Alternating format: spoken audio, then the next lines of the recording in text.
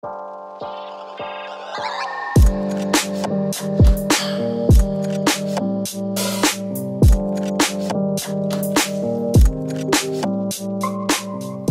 kijkers, ontzettend tof dat jullie weer kijken naar een nieuwe aflevering van Twitch TV. Uiteraard krijgen jullie weer genoeg landbouwcontent in deze aflevering te zien. Want we hebben beloofd dat we de auto op de brug gingen zetten en dat we ons koelvloeistofsysteem in orde gaan maken. Om dat allemaal in orde te maken, moeten we heel veel werk verrichten. Namelijk deze balken moeten eerst gemonteerd worden voordat ons koelvloeistofreservoir erin kan. En ja, jullie zien het hoe het er allemaal uitziet. Het heeft super veel aandacht nodig. Dus wederom, het wordt mega bikkelen in deze aflevering om onze belofte na te komen. Stay tuned, want de auto gaat zo op de brug en eh, het wordt een mega leuke aflevering.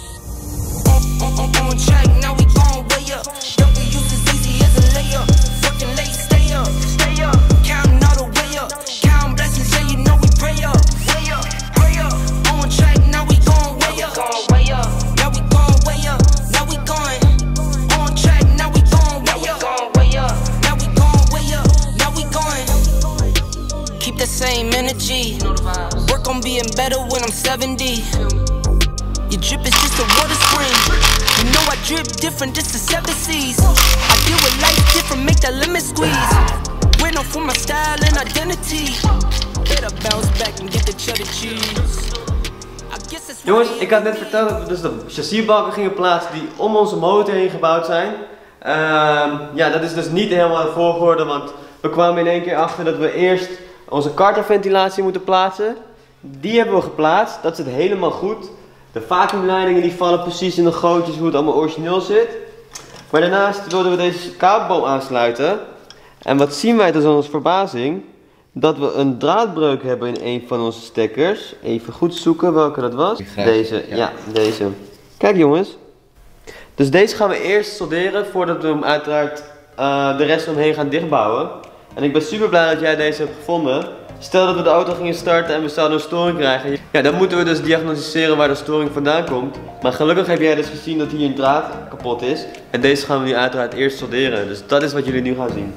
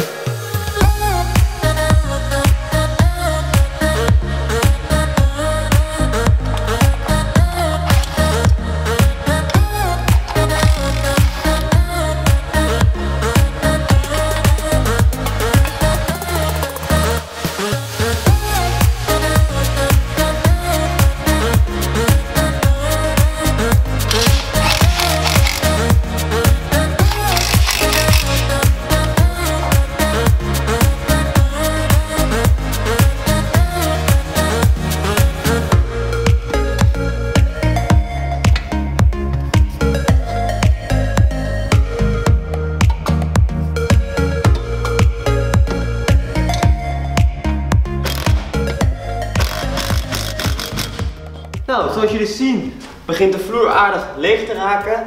We komen nu aan bij eh koelvloeistofreservoir. Deze komt dan uit Polen. En ja, ene komt uit Duitsland, de andere komt uit Polen. Maar deze komt dus uit Polen. En deze komt, is van een Lamborghini Gallardo Spider, als ik het goed heb. Want je ziet hier slotmechanismen zitten. En deze houdt dan zeg maar van de cabrio gedeelte, houdt hij die achterklep vast. En ja, die is voor ons dus niet nodig. Dus maar we moeten... wel wederom geld waard, dus Ja. bedankt voor het meesturen. we gaan hem niet gebruiken, dus hij gaat weer op eBay. Maar ehm, ja, we hebben alleen het reservoirtje nodig. We hebben hem al met elkaar vergeleken. Ze zijn hetzelfde. Alleen deze slotmechaniek die moet er even af. En dat is wat we nu gaan doen. Let's go.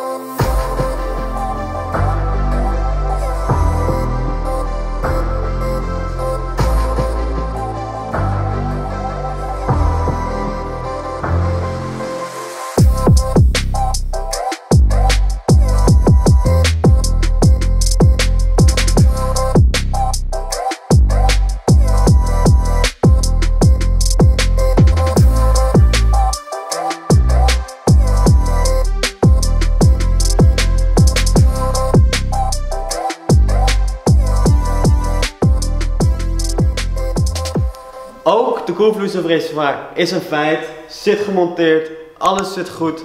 Maar het is niet vanzelfsprekend jongens, hoe dat allemaal vastgaat. Want uit elkaar is een dingetje, maar in elkaar is echt zo ingewikkeld. Als we geen foto's hadden gemaakt, dan was het ons bijna niet gelukt. Jongens, alles wat jullie op beeld te zien krijgen, lijkt gewoon heel soepel en heel eenvoudig te zijn. Maar wat zonder camera gebeurt, jongens, dat is gewoon niet te beschrijven. Soms denken we af en toe van shit jongens, waar zijn we aan begonnen? En we laten ons natuurlijk niet uit het veld slaan. Maar goed, Zelfs in onze werkplaatshandboek hebben we gekeken, is het eigenlijk niet terug te vinden. er wordt niks verteld over stekkerverbindingen in de werkplaatshandboek, wat super gek is. Ook de vacuümsysteem. Vacuumsysteem wordt ook niks over verteld. Dus ze gaan ervan uit dat je het eigenlijk gewoon weet of zo. Ja. Dus we gaan een andere dag weer verder met filmen. Maar dan gaat hij wel de brug op en dan gaan we de onderkant aansluiten met deze dikke leidingen. Want die komen dus de kardenas van voor naar achter hè. Inderdaad, deze komt op je koelvloeistofpomp, want er zit een mechanische koelvloeistofpomp op. Eh, die wordt aangedreven samen met je airco-pomp en je stuurbekrachtigingspomp. Dat is één lange staaf waar alles op verbonden zit. En daar komt deze op vast, op je koelvloeistofpomp. En die gaat dus naar voren toe via, de middentunnel. En daarvoor moet hij echt de brug op. En dat is wat jullie de volgende dag gaan zien. Ik hou het voor vandaag gezien. Ik ben helemaal gebroken. En we zien jullie morgen terug. Ciao!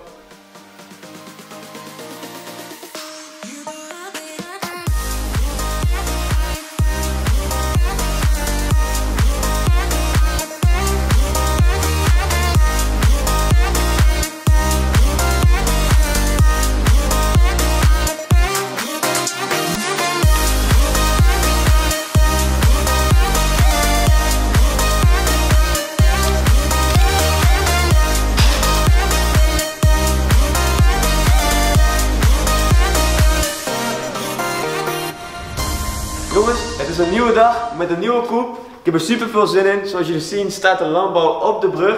En eh, er hangt nog een olieleiding los van de versnellingsbak.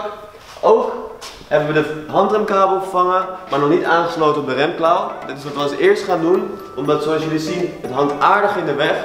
En eh, ja, we gaan zo meteen heel veel bewegingruimte nodig hebben onder de auto. Dus hier gaan we nu mee beginnen. Let's go!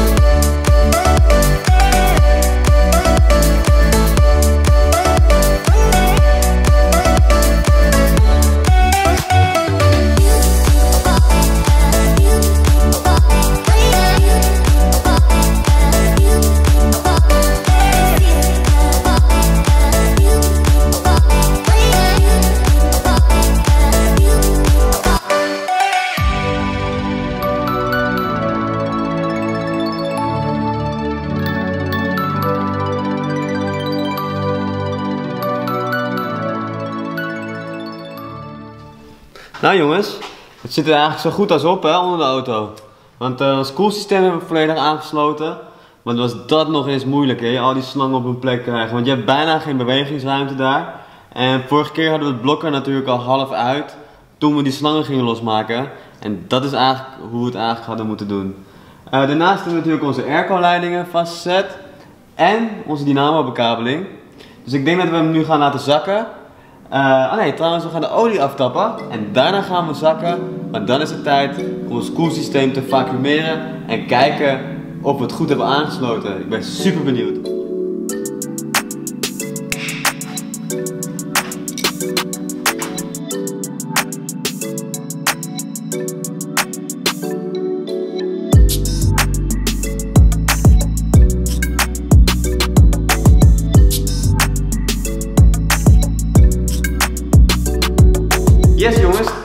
Dan achter de Lambo. Dat gaat allemaal in split seconds. Maar we hebben het koelsysteem test vulapparaat even erbij gepakt. Jullie kennen dit systeem al eigenlijk van ons Porsche. Die hebben dezelfde methode gevacumeerd en toen bijgevuld. Het mooie van dit systeem is dat je eigenlijk al het lucht uit je systeem pompt. En dan, een draai aan dit kraantje, trek je eigenlijk het koelsysteem vol eigenlijk met koelvloeistof. Ehm, ja, er gaat ongeveer 21 liter in een leeg systeem. Ehm, wij verwachten niet dat die helemaal leeg is, maar je weet het maar nooit. We hebben in ieder geval 20 liter klaarstaan. Dus eh, laten we even kijken of we in ieder geval goed hebben aangesloten alles en dat we geen lek hebben. Dus eh, dat gaan we nu doen.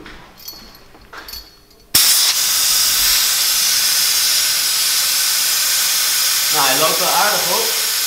We gaan lekker naar het eh rode als het kan.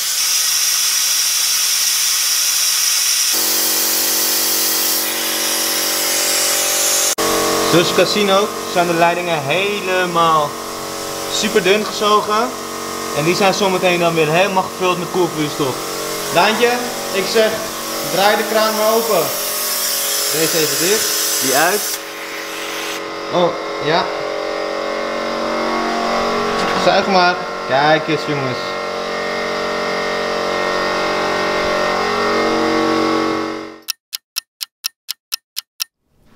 Jongens, dit is een succes. Er is ongeveer 15 liter ingegaan. En ja, dit was gewoon al gietend alleen niet gelukt. Wij hebben het ongeveer drie keer gevacumeerd. Ik denk straks als de auto aan is, dat er dan nog wel wat bij moet. Maar De basis is goed nu. de basis is inderdaad goed. Het belangrijkste is, we hebben geen lekkages jongens. Nul. Ja. Een klein beetje wat je daar ziet is omdat we hebben gemorst. Ja, Maar ehm het is dus geen lekkage. Dus het koelsysteem zit als het goed is goed in elkaar. Daar zijn we super blij mee. Dat is ook een flinke klus hoor, om dat allemaal goed aan te sluiten. Laten we nog even de leiding voorchecken, die net helemaal dun gezogen was. Of je iets hoort qua koelvloeistof erin. Welke had je gefilmd? Die linker. Deze. Ja. Nou, ik hoor wel koelvloeistof Je hoort duidelijk, ja, het zou niet anders kunnen hè. Nee. Dat is wel echt... eh, Maar 15 liter hè, in een leeg systeem gaat 21 liter. Ja, het kan dus gewoon zijn dat er nog gewoon een radiateur nog een beetje gevuld was. Twee, of hè? Twee. Ja, dus dat er ergens 6 liter in zat. Dus. Maar dit is in ieder geval een succes. Het was een super leuke dag, maar wel echt een super zware dag. Omdat we hebben echt een mega tegenslag gehad met de oliekoeler die we binnen hebben gehad uit Duitsland. Ehm, het was namelijk zo dat de tap-end waar je olieslang op komt, was helemaal verrot gedraaid door iemand eh, voor ons die aan die oliekoeler heeft gesleuteld. Wij hebben maar één unit binnen gehad uit Duitsland met olieslang aan de oliekoeler vast. Maar op het moment dat wij hem dus gingen monteren, moest de olieslang eraf. En kwamen erachter dat eigenlijk het draadeind helemaal verrot was. Eh, daar moesten we natuurlijk wat op verzinnen. We hebben namelijk een moer gelast op onze olieslang. En ja, zo hebben we hem toch kunnen vastzetten. Maar dit heeft dus de hele ochtend geduurd. En ja, we willen natuurlijk heel veel content voor jullie maken. Maar dit zijn gewoon dingen die super tijdrovend zijn. Daarnaast heeft het ook niet meegezeten met de koelslangen. Die waren ook super lastig vast te zetten. Omdat ik, zoals ik net vertelde, is het eigenlijk makkelijker om de koelslangen vast te zetten. Als de motor dus nog eigenlijk in de motortakel hangt. Nu had je eigenlijk vrijwel geen ruimte om het vast te zetten. Maar wederom, het is ons gelukt. Daarnaast hebben we natuurlijk ook ons airco systeem aangesloten. Cardan as hebben we aangesloten. Het is straks gewoon tijd om de puntjes op de i te zetten. Jullie moeten nog even wachten. Wij moeten ook nog even wachten op het starten. Maar eh, wij gaan even lekker tussenuit. Een beetje family time met ons gezinnen. We gaan namelijk met z'n allen naar Corfu. We hebben een lekker huisje gehuurd, zwembad. Eh, ja, volg ons even op Instagram. Waarschijnlijk gaan we dingen op ons verhaal posten. Twins.tv laagstreepje. Volg je ons niet? Ik zou daar zeker even een kijkje nemen, want daar komt content op wat dus niet op YouTube terechtkomt. En ja, jullie gaan dus aankomende twee weken helaas geen afleveringen van ons krijgen. Met een frisse start gaan we er straks weer tegenaan. Vergeet zeker niet te abonneren. Doe een duimpje omhoog als je ziet hoeveel moeite wij erin stoppen. En je ziet ons terug over een paar weken met eh, waarschijnlijk een lekker kleurtje en meer ontspannen. Niet zo gestrest. Dat ding binnen no time starten. Tot dan.